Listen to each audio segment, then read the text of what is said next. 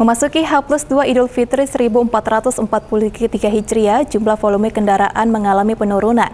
Namun kendaraan warga Sarolangun yang melintas mengalami peningkatan dari hari biasanya, karena banyak warga yang berpergian untuk silaturahmi. Pulang kampung yang menjadi tradisi warga memasuki H plus 2 menyambut hari kemenangan Hari Raya Idul Fitri 1443 Hijriah. Suasana jalan lintas kota Sarolangun terpantau ramai. Bahkan volume kendaraan mengalami peningkatan dari hari biasanya. Peningkatan ini juga dikarenakan banyaknya warga yang keluar untuk bersilaturahmi ke rumah sanak keluarga. Kasat Lantas Polres Sarolangun AKP Jalil Sedaputar menjelaskan, untuk situasi kendaraan selama musim mudik Idul Fitri, di wilayah hukum Sarolangun belum terdapat adanya laka lantas.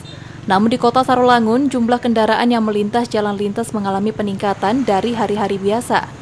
Namun peningkatan kendaraan berkisar pukul 23.00 waktu Indonesia Barat dan jalan kembali sepi.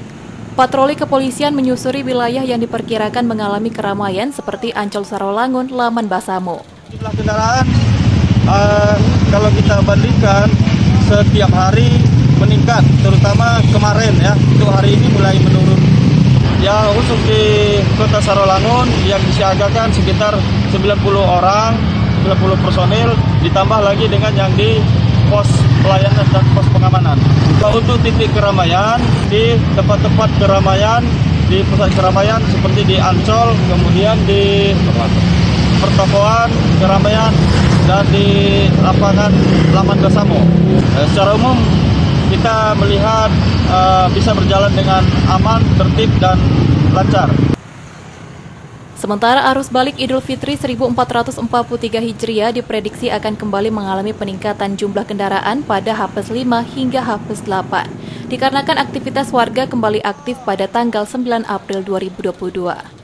Selamat Riyadi, Cek TV, melaporkan.